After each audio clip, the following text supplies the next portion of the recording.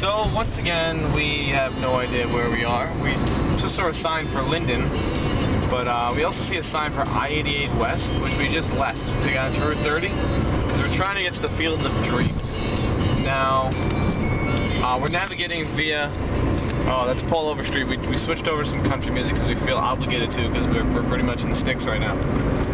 So we're on Route 30, and um, as Jake had promised, and many other people, uh, there, there's plenty of corn, and there's plenty of trucks, and there's plenty of corn, and I think the other crop they have is soybeans. Now, I could be completely wrong. But when we went to the last gas station, um, they sold gas for $2 a gallon if you wanted it, and it was 85% ethanol. I mean, I don't know how that's going to agree with my car, but I did not opt for it. But anyway, Grace, turn it around, show yourself, you know, you're so bad. There, yeah, yeah. So, our goal for today is to go to the Field of Dreams in Iowa, and then head up to Minneapolis area, and then get on track on I-90 and head over to the Badlands. Now that's like 14 hours away. I have no idea how far it is from where we are currently, but we're gonna head that direction and then figure it out when we get close. Oh, we got junctions ahead.